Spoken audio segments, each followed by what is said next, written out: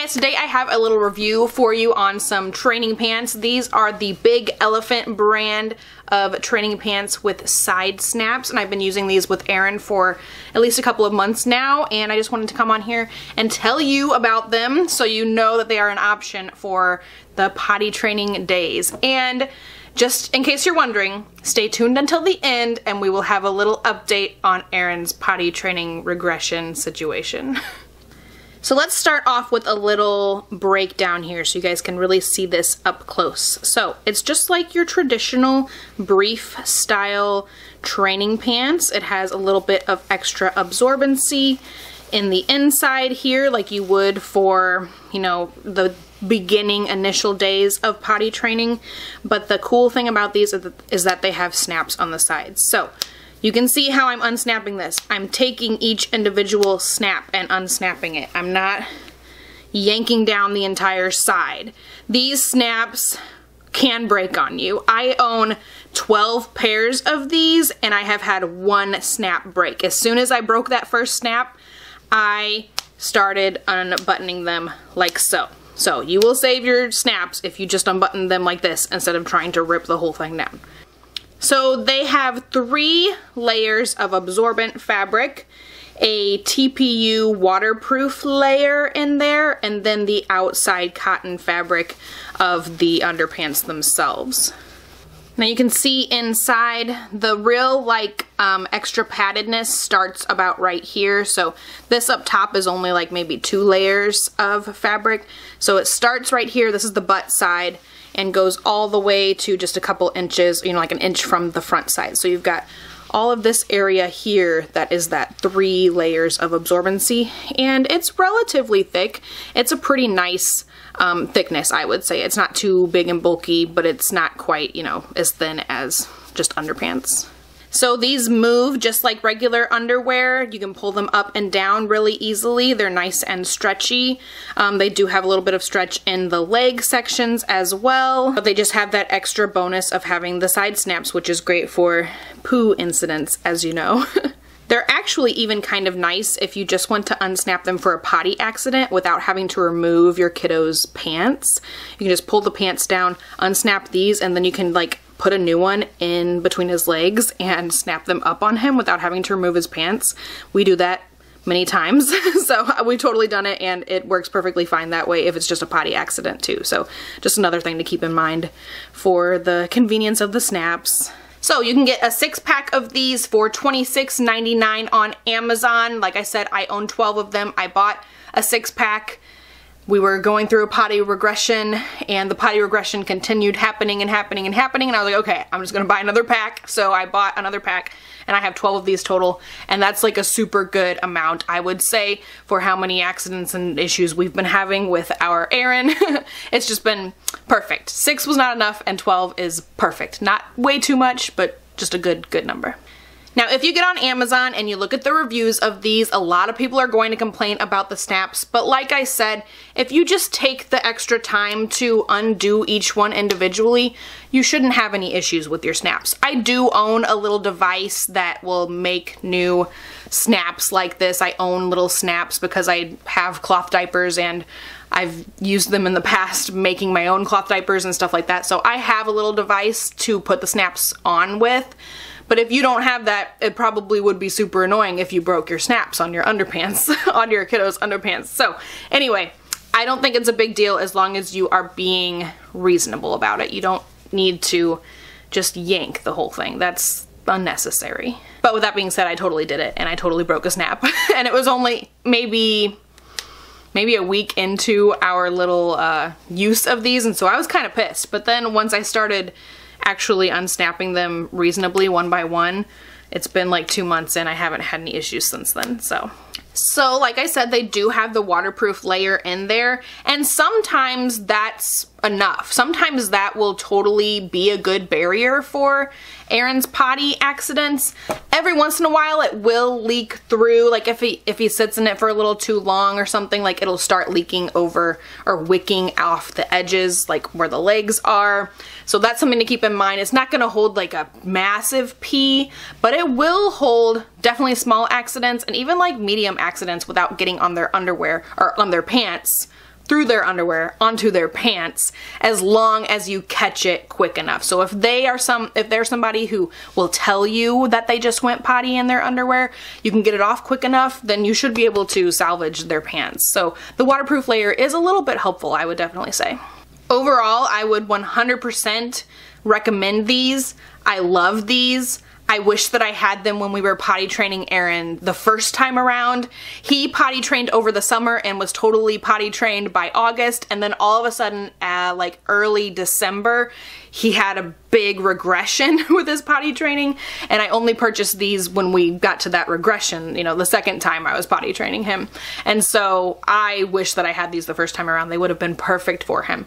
The second time around, since he had been in regular underwear so much for the past five months before he decided you know, before he started having issues with pottying again, he did not want to have any of the PUL, any of the stuff that looked like diapers. He wanted it to be underwear, and these are perfect for that because they have the convenience for mama for cleaning up poo and pee messes with the snaps on the side, but they look and feel and act just like regular underwear, so kiddo is not put off by that. So yeah, I would totally, totally recommend. I love these. These are great. These are awesome. So as far as sizing is concerned, I bought the 3T size. I believe Eren was like 32-ish pounds last time I weighed him. He has always been on the taller side his 3T pants are a little loose on him. Like uh, I just buy like usually like the Cat and Jack brand from Target. They're a little loose in the waist on him, but he still wears them around the house. So if that gives you any idea, these fit him really, really well. I will say that I've noticed like the waist fits him super good.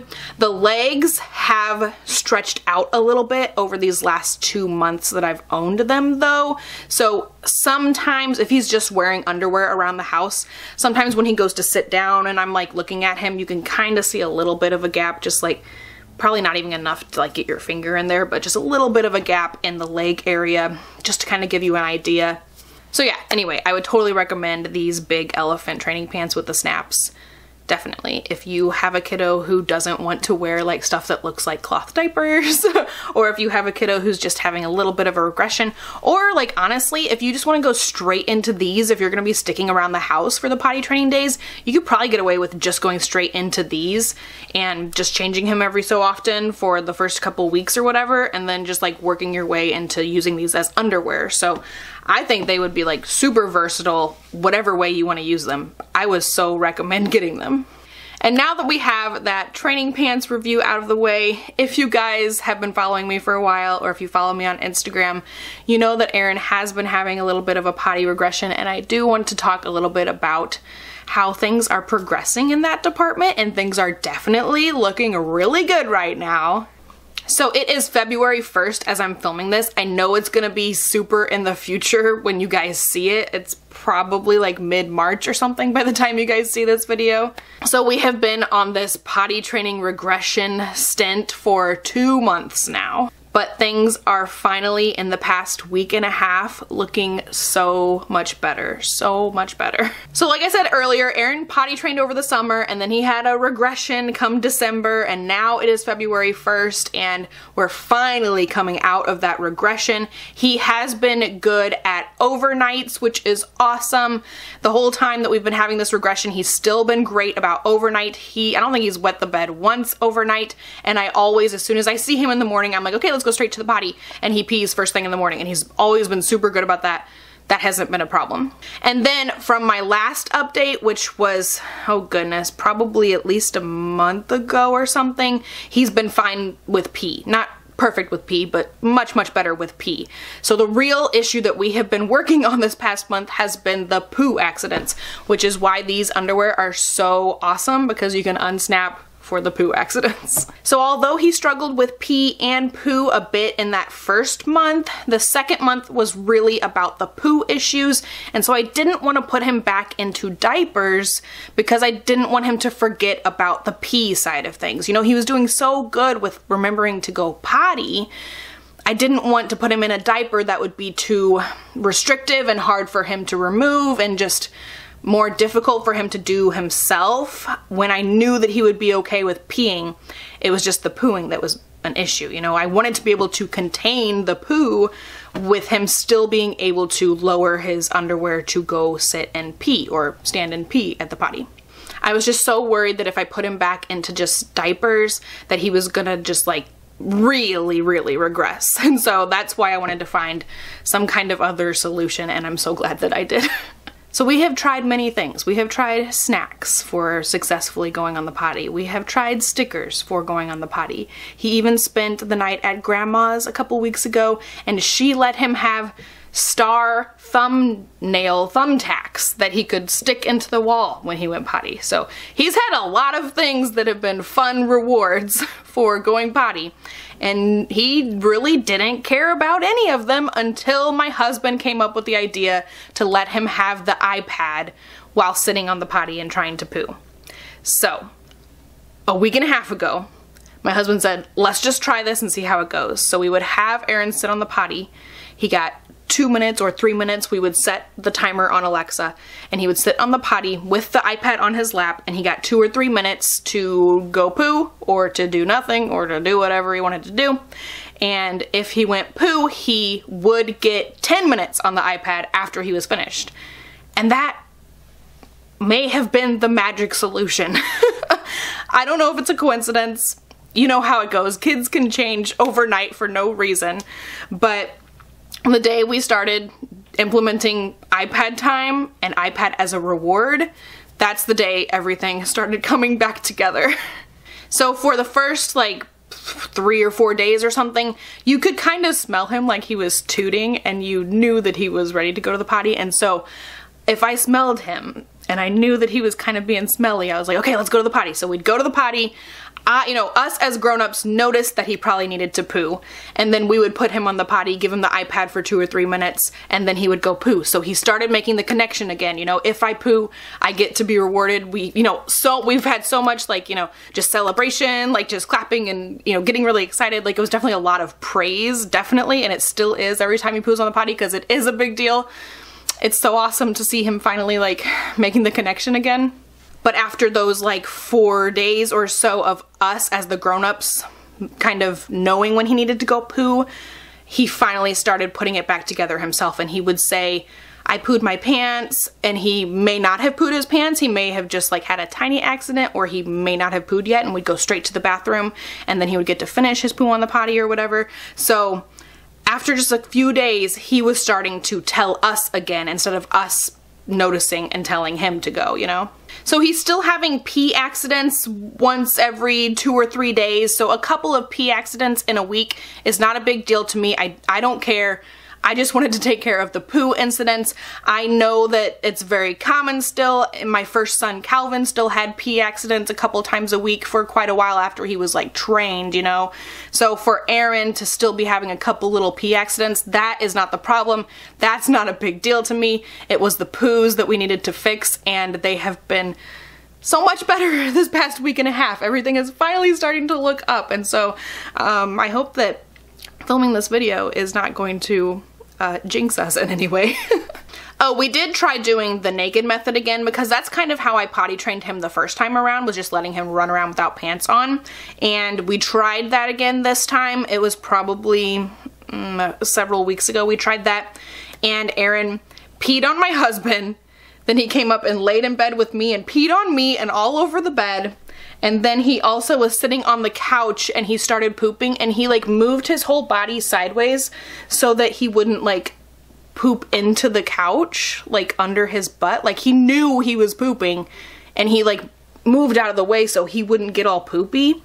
And I was like, no, what the heck? So that was like, I was, I was done with the naked method after that poop incident. I was like, no, this is not happening. We're, we're gonna have to just deal with poo in underpants because I'm not letting him poop on the couch like that. So it is kind of funny because the first time when I potty trained him over the summer last year, I totally thought poo was going to be an issue. I totally thought that that couch situation was going to happen when we first potty trained him and it never did. He never had a big, big issue with pooping um, when we first trained him. So it was such a weird thing that he has had such trouble with poop this time around in this part of the regression in this particular stage of potty training. So it's been weird, but I'm so happy things are finally starting to turn around. If you guys have any potty training regression tips or anything, let them leave them down below so that people who are watching this video can also get some more help from you guys down there too. So, I know this was a little bit of a long video, but I'm happy to finally have a little bit of a resolution on the whole potty training regression thing. I hope you guys enjoyed this video. If you did, don't forget to give it a thumbs up. Let me know what else you want to see here on this channel, and I'll talk to you guys next time. Bye!